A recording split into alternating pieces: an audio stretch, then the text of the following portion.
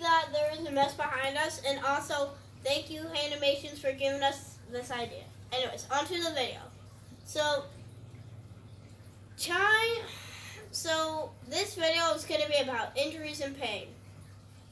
So one time I was at school playing with my best friend Isaac, and we were just walking, you know. I just walk and step on some ground like usual. But then something flies out. I if it's like a wasp or a hornet. It all happened so fast. It flew around me two times, stung me on the arm, and uh, I cried a lot. Um, my teacher brought me to the school nurse and um, put a band-aid on, and for the rest of the day, I just felt dizzy, and I felt like I wanted to throw up.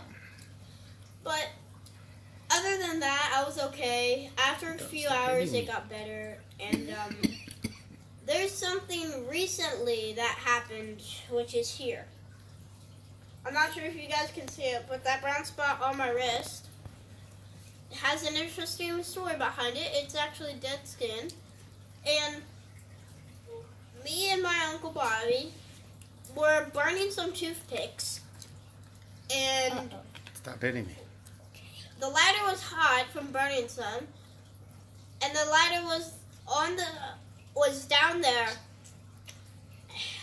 and my hand was near it. And I know what some of you are thinking.